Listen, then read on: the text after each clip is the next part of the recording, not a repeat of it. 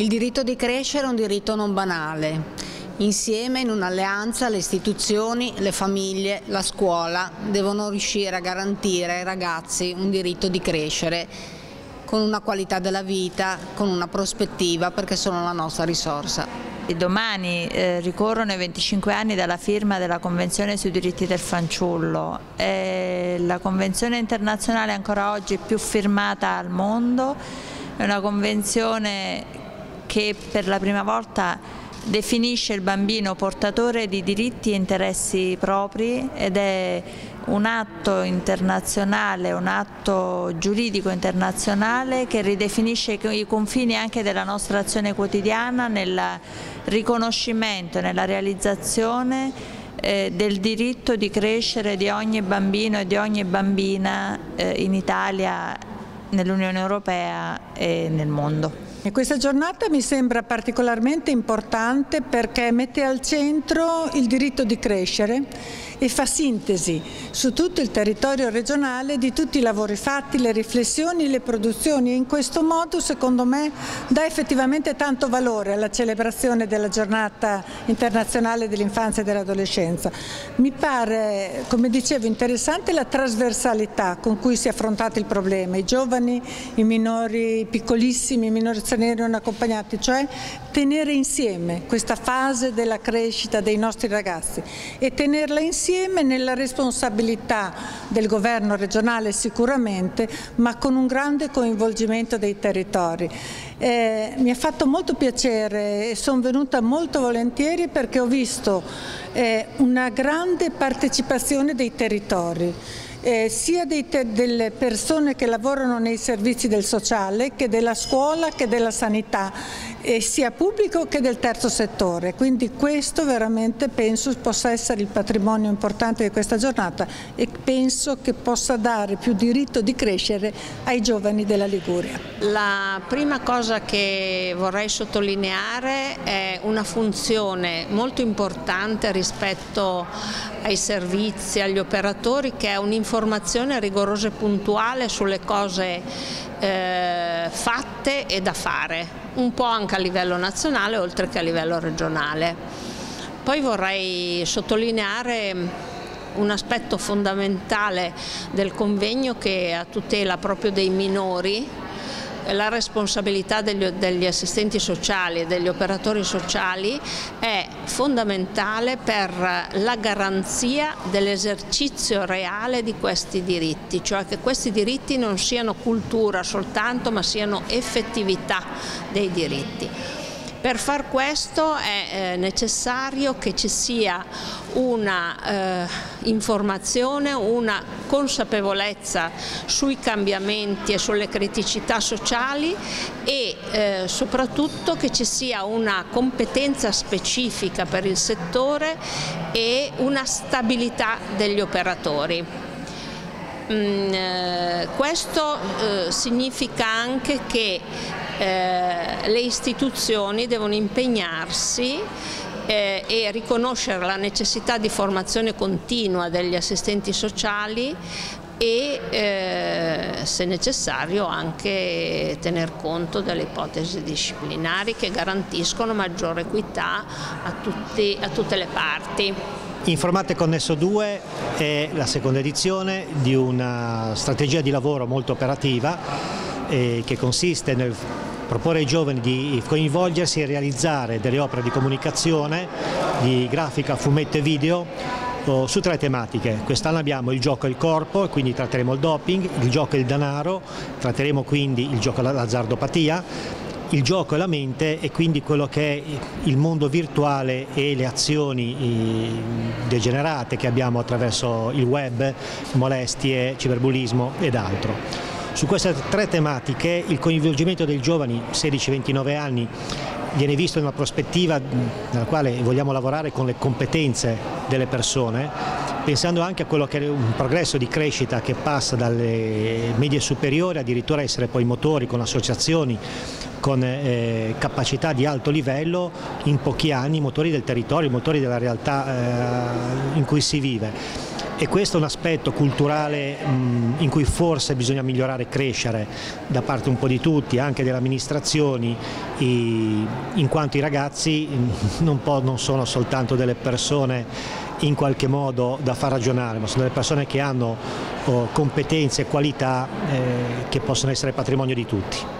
Il tavolo ha riguardato i diritti dei più fragili. Allora, chi sono i piccoli fragili? Sono sicuramente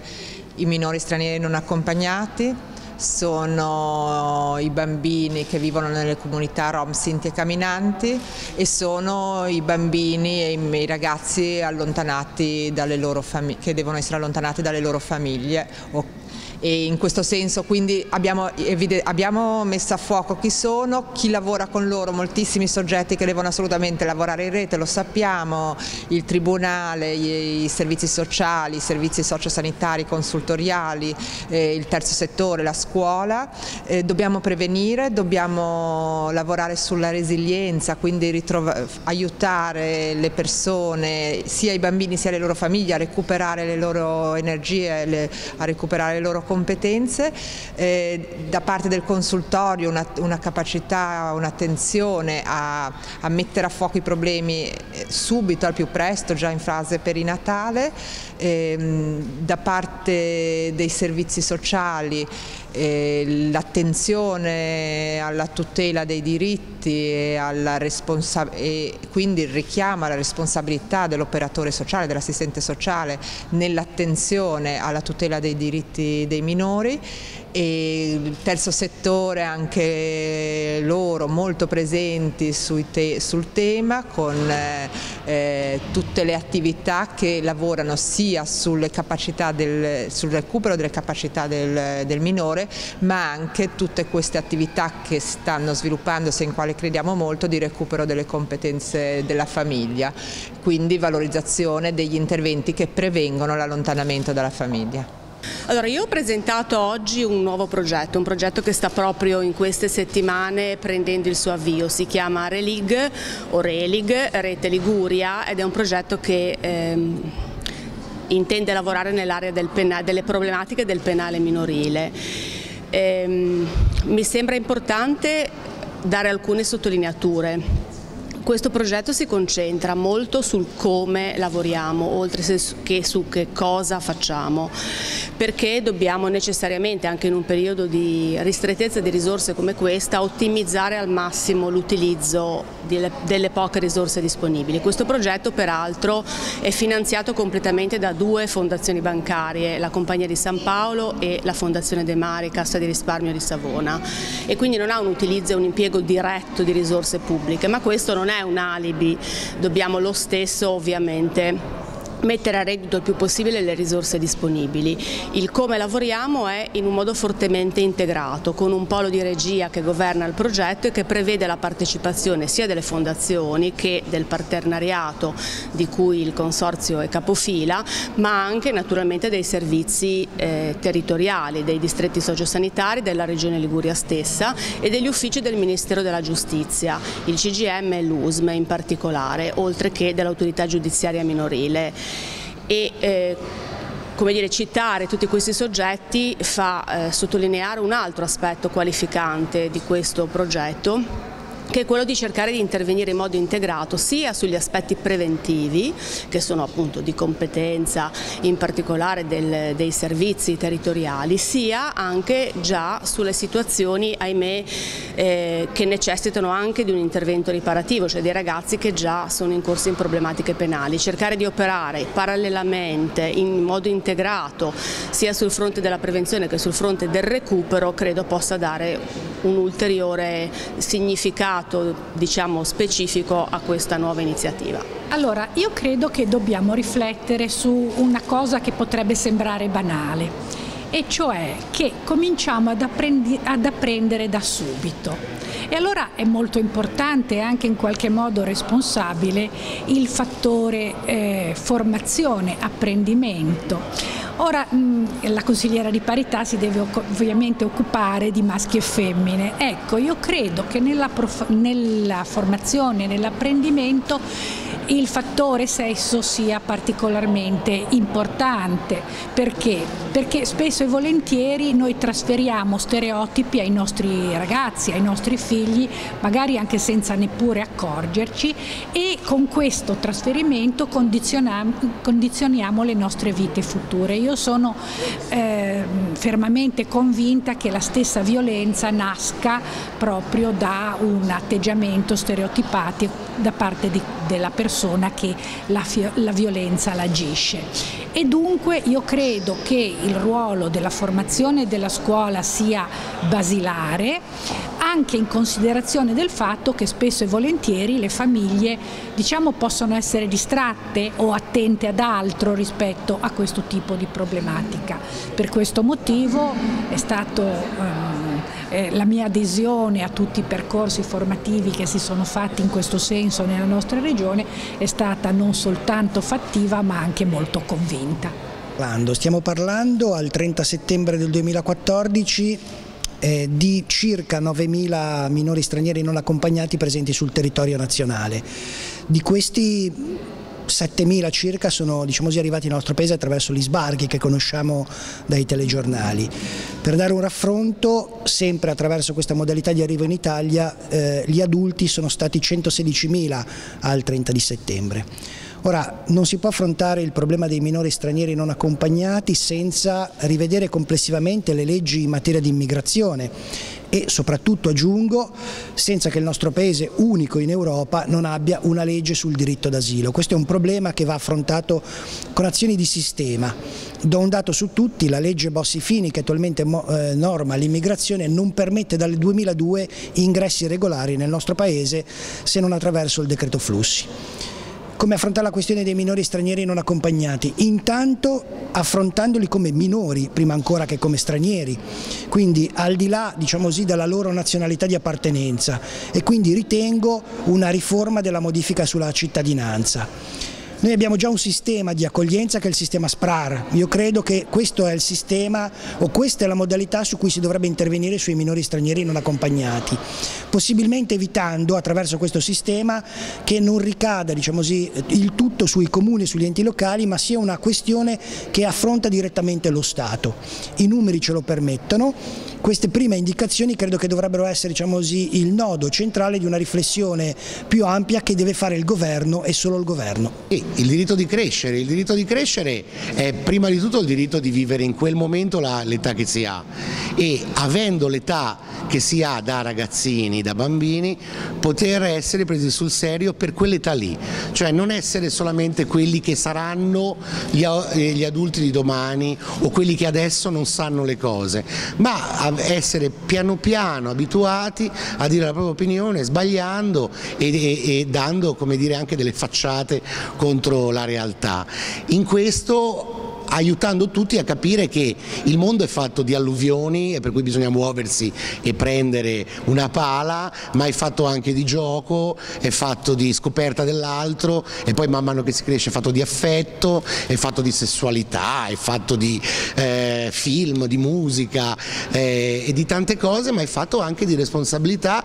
prima di tutto verso se stessi. Il problema è che se non siamo abituati sin da piccoli a provare questo tipo di esperienza su di noi e in relazione agli altri, poi rimarremo piccoli. Il diritto a essere studenti è un diritto che bisogna cominciare a esercitarlo prestissimo, eh, bisogna cominciarlo a poter essere studenti fin dai tempi della scuola dell'infanzia. Può essere un paradosso, in realtà ormai è chiaro che si studia bene e si ha un successo formativo vero se si comincia molto presto e se si comincia nel nido e nelle sezioni primavera ad avere esperienze educative è ancora meglio. Per questo ci stiamo dando da fare perché quanti più bambini possano avere questo diritto. Noi abbiamo avuto un'esperienza veramente positiva rispetto alla possibilità che ci è stata data per i ragazzi per i corsi e-learning. I corsi e-learning erano corsi eh, a distanza di eh, inglese, francese, spagnolo, tedesco, eh, computer, arabo e italiano per stranieri. Questo ha permesso di ehm, offrire ai ragazzi veramente delle competenze ulteriori, ha permesso ai ragazzi di incontrarsi nelle sedi dei giovani, quindi come l'Informa Giovani, come centri giovani, ha permesso eh, di, di, di, fare a casa il corso e quindi di creare un legame anche con i genitori che avevano bisogno magari di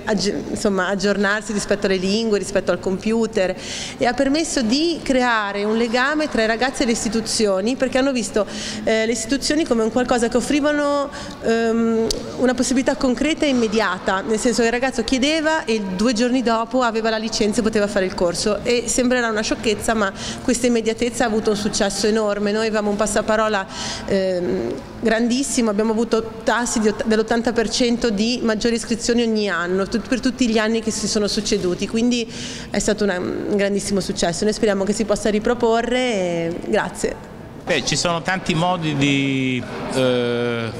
stare dentro alla giornata internazionale dei diritti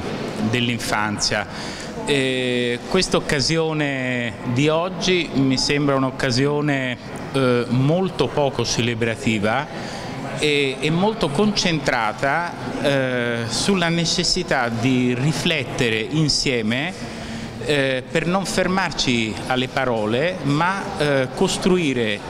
eh, fatti e, e, opportunità vere eh, per la qualità di vita eh, dei bambini. L'ambito dei servizi educativi per la prima infanzia dei nidi è un ambito eh, che guarda con ottimismo al futuro perché corrisponde all'affermazione del diritto di cittadinanza dei bambini attraverso il diritto all'educazione anche a partire dai primi anni di vita. Il caso Ligure è un caso eh, rappresentativo delle esperienze di eccellenza in Italia perché la Liguria insieme alla Toscana, all'Emilia Romagna all'Umbria è una delle quattro regioni che hanno un tasso di copertura per i servizi educativi 03 che ha superato il 33%, l'obiettivo che la comunità europea aveva indicato per tutti i paesi eh, nel 2010. Ma eh, questa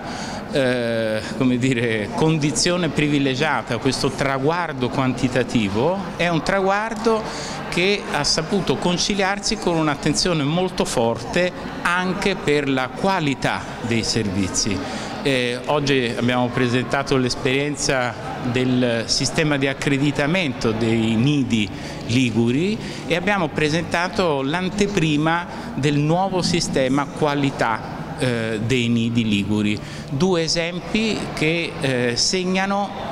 eh, un traguardo che la politica può rivendicare a proprio merito eh, anche perché lo ha costruito insieme eh, a chi opera nel territorio, sul territorio come coordinatore o come eh, educatore e insegnante impegnato quotidianamente eh, nel lavoro con i bambini e con le famiglie. Eh, questa politica partecipata è eh, ciò che caratterizza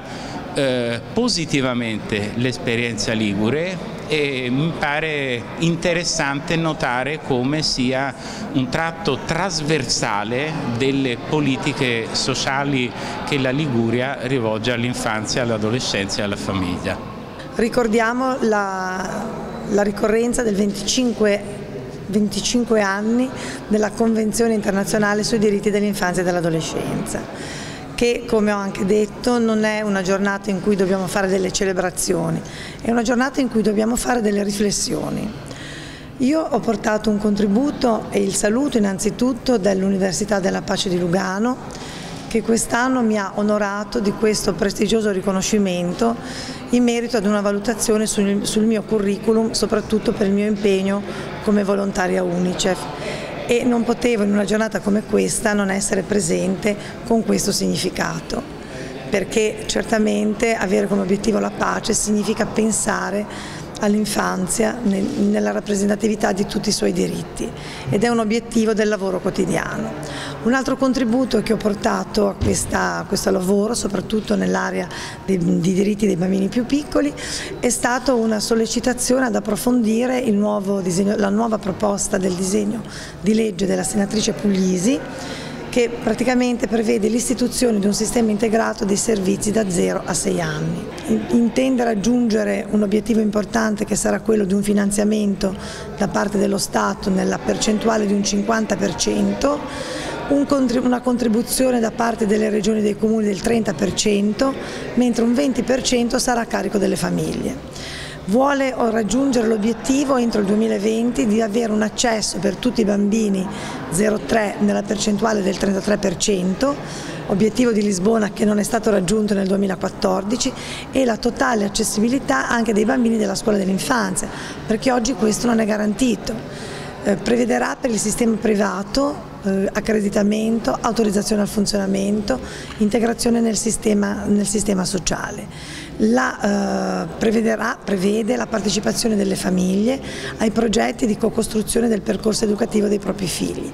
Quindi c'è una grande mobilitazione, il gruppo nazionale Nidi Infanzia lo ha promosso per il 2 di dicembre, perché il 2 dicembre del 71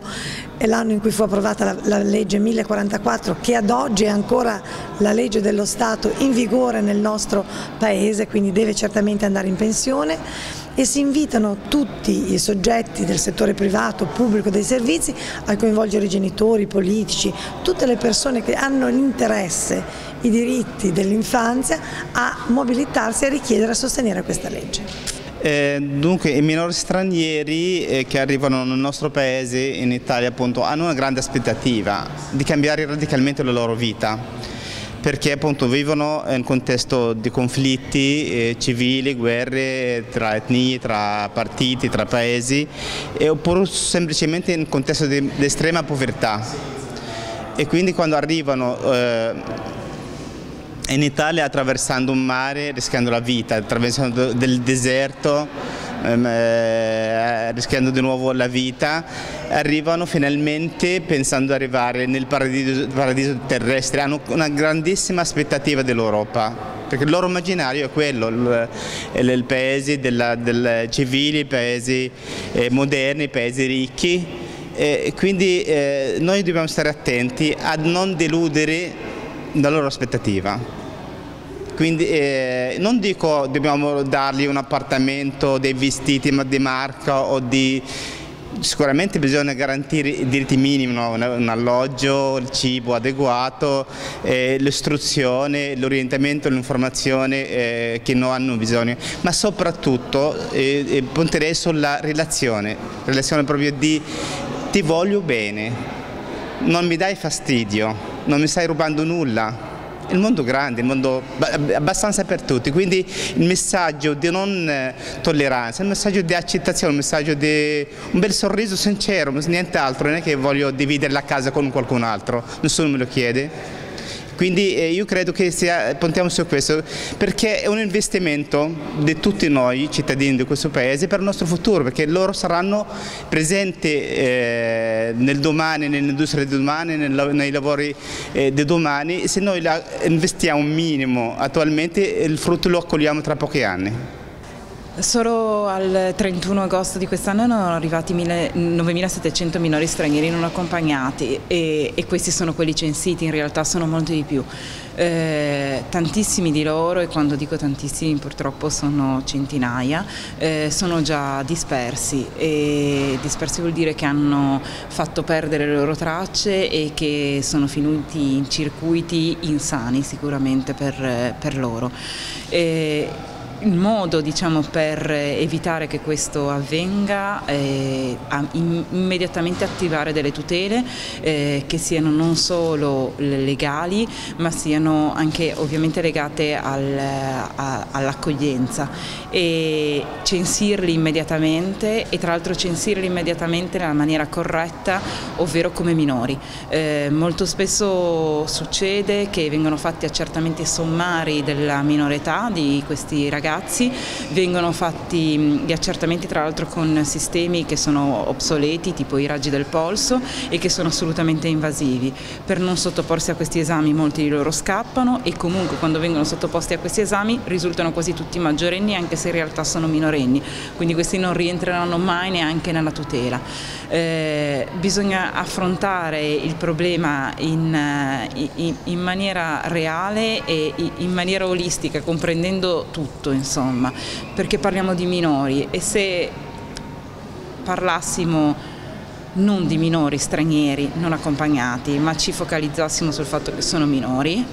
eh, i dati relativi alle loro scomparse dovrebbero farci accapponare veramente la pelle. E eh, non penso che sia sopportabile oltre l'idea che questi ragazzi che hanno eh, scampato tutto, eh, guerre, deserti, tantissimi stupro, eh, il mare, hanno visto morire tutto, quando arrivano qua vengono trattati in condizioni tali per cui si devono dare alla macchia e per cui poi ne perdiamo le tracce.